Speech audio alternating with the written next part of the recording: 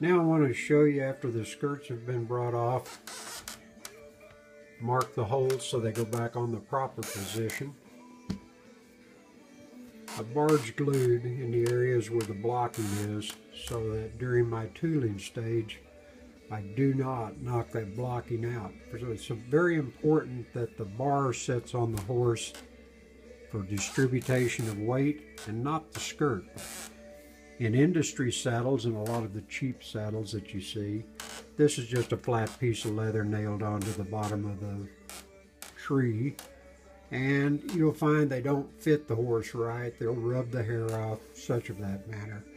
But the quality blocking in it allows the bars to set on the back of the horse, distributing per square inch the weight of the rider and the saddle. This is what makes it unique and it's very important. Some other areas it's blocked in, you can see. That's where the rigging sets in. Now, I'm going to go on here, start with the pommel.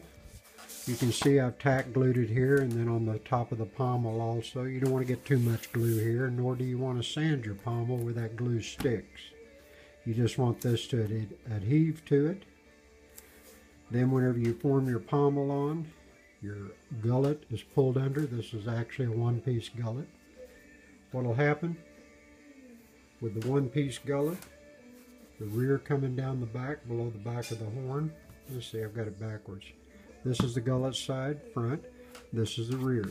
One piece, this is all pulled under as one. We'll have a seam here and a seam here. I'm going on this particular saddle, I'll be putting a welt in, which I was taught by Warner Stucklebrook from Steuben Saddlery. Whenever I taught him Western, he taught me a lot with English.